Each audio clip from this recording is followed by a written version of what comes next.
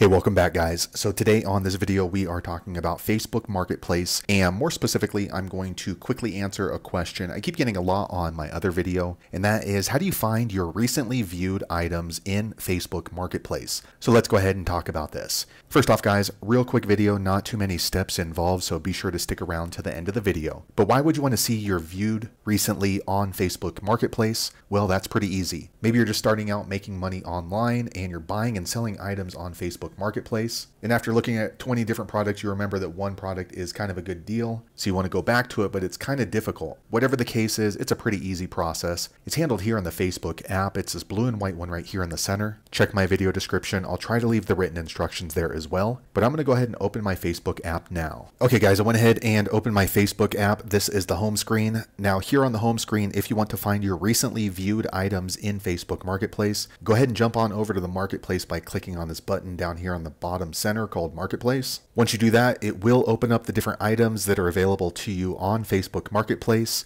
However, in order to view your recently viewed items in Facebook Marketplace, you need to click on this little person icon here on the top right. Once you do that, you will see this drop down menu. And in order to see recent items that you looked at on Facebook at Marketplace, look for this button right here called recently viewed. It has a little clock next to it. Okay, once you click there, you will see the recently viewed items that you looked at on Facebook Marketplace. So these are going to be recent items. So you can easily just click right back into it and check the statistics for it, like this particular house. So there you have it, guys. If you're wondering how to find your recently viewed items in Facebook Marketplace, that's the easiest way I know how to find it. If you know an easier way, be sure to leave a comment below. Let the rest of us know how you did it. Hopefully you found that video useful. If so, click thumbs up or maybe consider subscribing to my channel and I hope to see you on the next video. Thanks again for watching.